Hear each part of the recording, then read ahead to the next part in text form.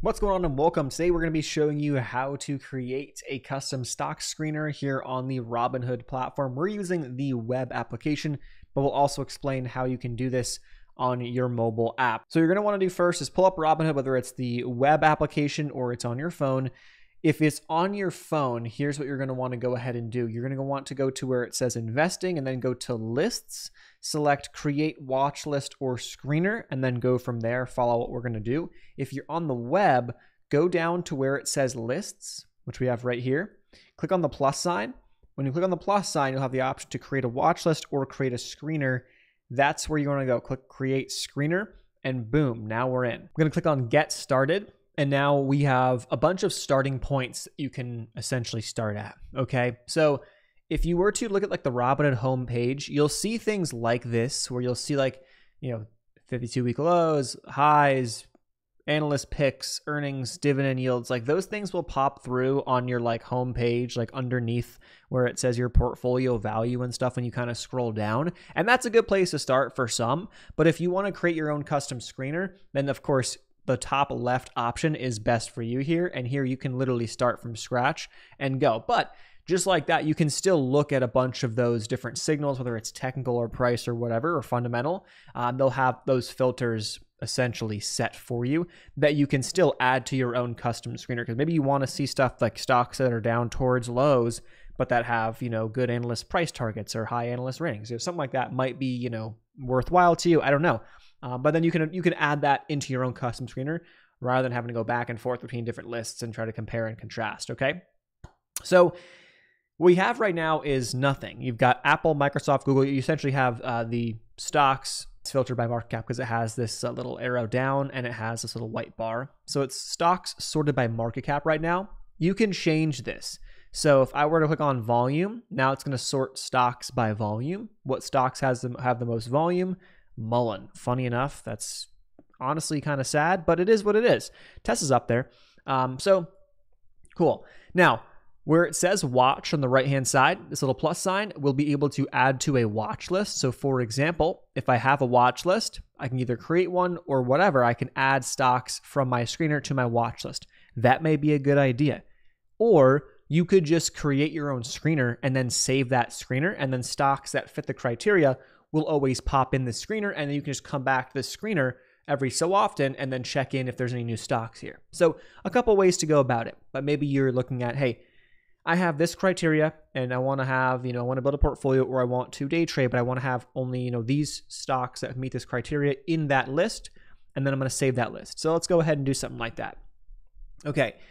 Let's just say that we want average volume to be very, very high. We want this to be, you know, stocks that have a lot of volume, a lot of action, people are trading these things. Let's go with over 1 million. Now, on each of these selections, there's this little question mark. This is going to show you or it's going to give you an explanation of what exactly it's being sorted by. Because when you see average volume, you're like, okay, what does that actually mean? Is it today? Is it this week? Is it on the year? Well, in this case, how many shares have been traded over on average each day over the past 30 days? So they take the past 30 trading days and they say how many on average are traded Boom, here's your list. So now you got the stocks that kind of fit that requirement. Boom.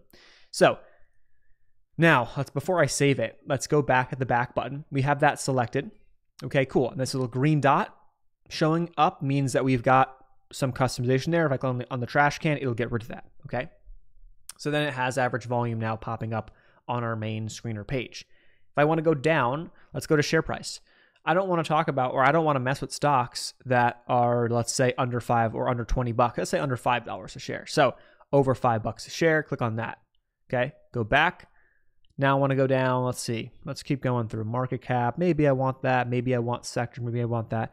Okay, let's go to financial. Analyst ratings. Maybe I want stocks that have either a hold or a buy, not a sell or mixed. Maybe that makes sense to you. And these ratings, for example, are from the past 100 days from independent research firms, past 100 days. Okay, then options, implied volatility, options availability. Yes, I want to have options available because I want to be able to sell covered calls or on my longer term holdings, or I want to be able to trade these things every day, potentially. That might be what I'm trying to do. So I want options to be available. Okay, boom. Now, right there, we've got our list of stocks developing. Still, though, We haven't really narrowed this in too much. Let's be honest. It still says 250 plus items. So let's go in and now let's see if I can adjust this to really dial this in. Uh, let's see. Yearly percent change. Let's go to sector. Sector, let's go to, let's see if we were just to look at, I'm going to go down to where it says, let's go to telecom, telecom and software.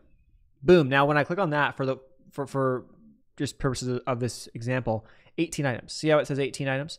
So now when I really dial this in, click on both software and telecom, now we got 127 items. So now we really kind of dialed this in pretty nicely. So let's say I want to save this screener. Click on save screener, add it to my list of say, let's say, I don't know, let's let's call it telecom and software um, trade list because these are stocks maybe I want to trade, right? Boom. Boom. Save it. Give it a second to load. And now we have a list saved. So here is now our list. If I were to now leave this, go back to where it says the investing page, go back to the page. Now we're right on the day, by the way, the market's going down, I guess. Uh, and boom, we have our telecom software trade list. Boom.